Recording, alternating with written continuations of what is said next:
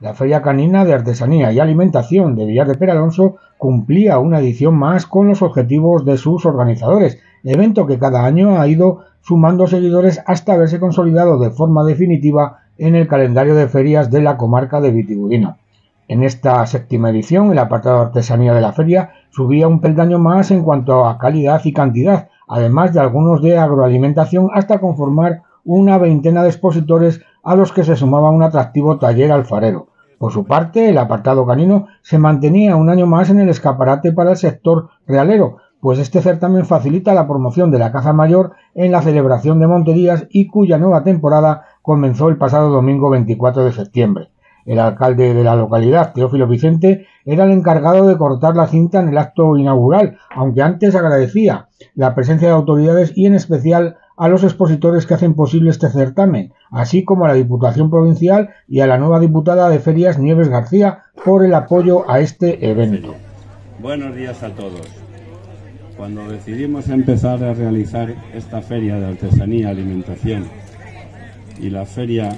canina, no nos podíamos imaginar que varios años después estaríamos celebrando la séptima edición de esta misma. Me enorgullece que hayamos sido capaces de mantener esta fecha y haber consolidado esta feria a lo largo de estos años, lo cual no sería posible sin cada uno de los que estáis hoy aquí presentes. Como cada año, quiero agradecer la presencia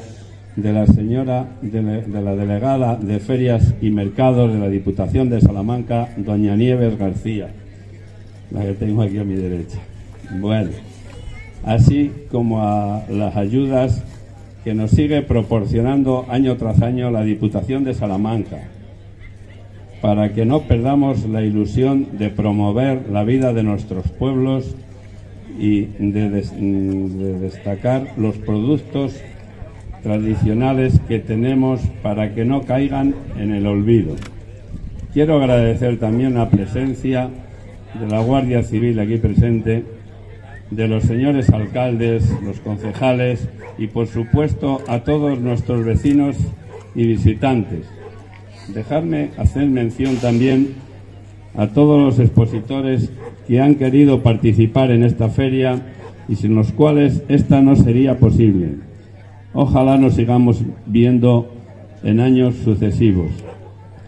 Tras la inauguración, y como viene siendo habitual, vamos a poder disfrutar de una exhibición canina gracias a Albadecán, quienes año tras año nos siguen sorprendiendo. Posteriormente tendremos también la ya tradicional degustación de carne de ternera, acompañada de una degustación de vino que esperemos que sea de vuestro agrado. Durante toda la jornada de hoy podremos seguir disfrutando de distintas exhibiciones y concursos caninos, así como de la exposición de los distintos productos alimenticios y artículos de artesanía y acabaremos el día con la actuación musical de Asón de Sal. Finalmente damos por inaugurada esta séptima feria de artesanía y alimentación y séptima feria canina en Villar de Peralonso.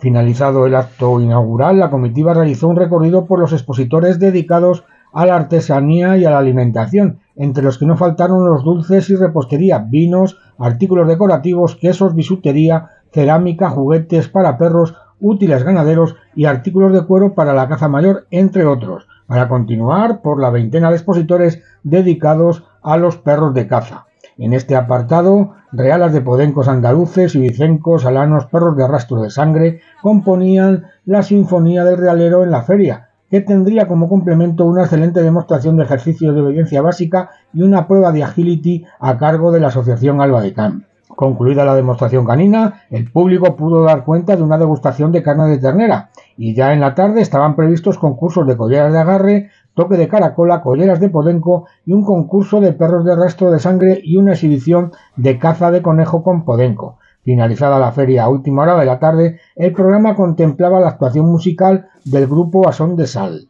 Como colofón a la feria canina de artesanía y alimentación, Mañana domingo se espera una competida tirada al plato que comenzará pasadas las 3 de la tarde en la carretera de Tremedal.